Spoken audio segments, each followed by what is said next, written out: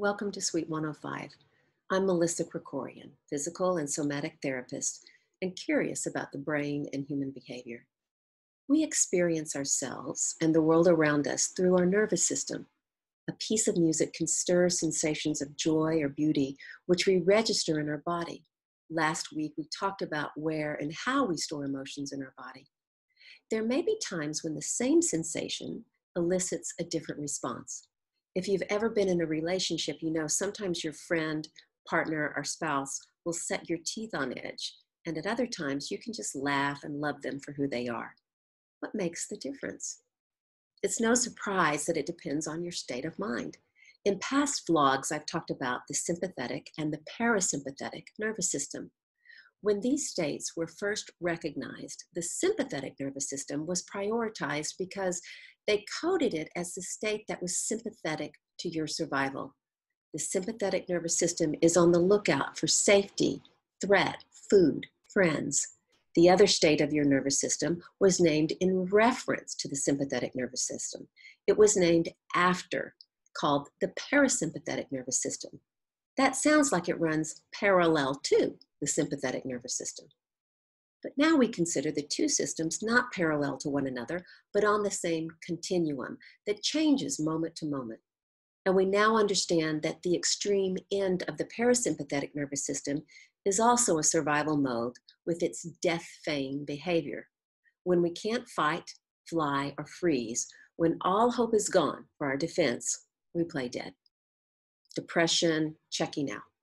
Watch this common but not commonly recognized example of the extreme parasympathetic state. He rifles it right in front of us to Abdur-Rahkman at midcourt. Extra pass. And it goes for the win! The three-pointer!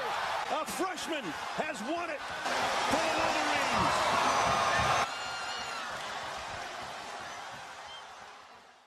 We respond differently to the same stimulus in each state the ball player on the gym floor might have been impressed and pleased with his rival's skill at making the basket, if it hadn't cost him the game. With the game over, he is left without the ability to defend himself, run away from the truth, or freeze and hope the score will change. His system does the only thing left in a life or death situation. He lays down and plays dead to the threat of his team's survival in the playoffs. There are many mechanisms that modulate the nervous system, but a key player in neuromodulation is the vagus nerve. The vagus nerve goes all over your body and has many important functions. We're going to talk about one of those. This is as detailed as I'm going to be, so track with me one more step. The vagus nerve has two branches a branch that goes more towards the front or ventral, and a branch that goes more towards the back or dorsal the ventral branch of the vagus nerve dampens the sympathetic nervous system. It's called the vagal brake. It slows down the aggressive mode of the sympathetic nervous system.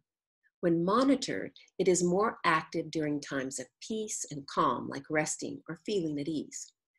If you can learn to modulate your vagus nerve, the vagal brake, you can slow down the hypervigilant and often urgent neural environment of the sympathetic nervous system that sometimes makes you respond in haste and make mistakes.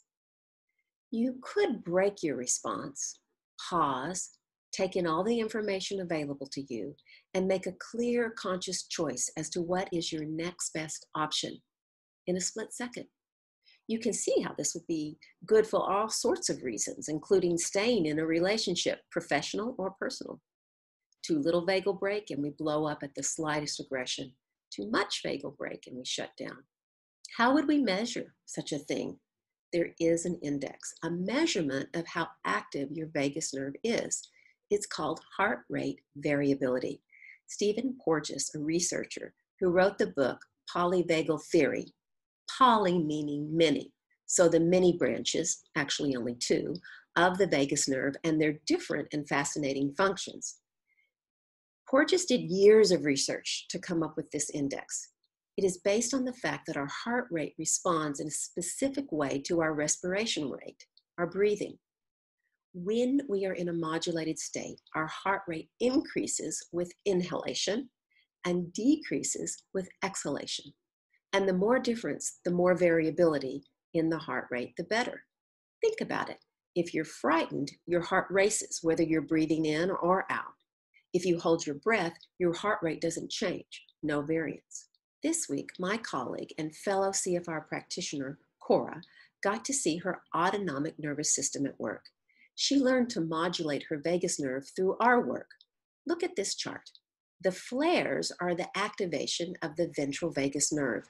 It activates when she's asleep and when she is resting in a special therapy blanket. But it also flares when she is doing a CFR lesson or a CFR self adjustment tool, which also involves movement. The researcher was quite surprised to see that even though she was moving in the lesson and self adjustment tool, her vagus nerve was active, calming her system. You could learn how to gain access to your vagus nerve too. We do it by retraining our brain using mindfulness and exploring novel, simple, but sophisticated movement sequences. There are several ways you can join in. And to find out more, go to nexuspt.net. I welcome you to subscribe below and leave comments so I can know what you'd like more of or less of or different.